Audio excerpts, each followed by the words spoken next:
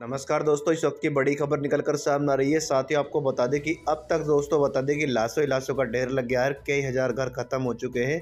जी हाँ दोस्तों, आप घरों से बाहर बिल्कुल भी ना निकलिए, सतर्क और सावधान हो जाइए। इस वक्त की सबसे बड़ी खबर निकल कर सामने आ रही है। साथ ही आप सभी को बता दें कि बंगाल की खाड़ी से 2 दिसंबर को उठा साइक्लोन, मिचोंग, मंगलवार, दोपहर आंध्र प्रदेश के तट से टकराया। मौसम विभाग के मुताबिक दोपहर ठीक एक बजे तूफ़ान बापटला के नेल्लोर मछलीपट्टम के बीच लैंडफॉल कर गया।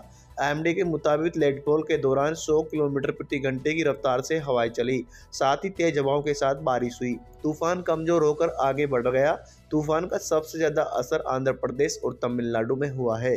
दोनों राज्यों में 100 से ज़्यादा ट्रेनें और 50 से ज़्यादा फ्लाइट्स कैंसिल कर दी गई हैं। आंध्र प्रदेश के कोस्टल एरिया से एनडीआरएफ की उनतीस और एसडीआरएफ की पिचानवे लोगों को सुरक्षित ठिकानों पर बुलाया गया है। वहीं पर ही तमिलनाडु के मुख्य सचिव ने बताया कि तूफ़ान की वजह से राज्य में दो दिनों के भीतर तीन महीने की बारिश हो गई। चेन्नई शहर बारिश की वजह से डूब गया है। इसके कारण सत्रह लोगों की अब तक मौत हो चुकी है। लगातार बचाव अभियान अभी भी जारी है। एसडीआरएफ, एनडीआरएफ, आर्मी की टीमें तैनात कर दी गई है। इस वक्त की बड़ी खबर।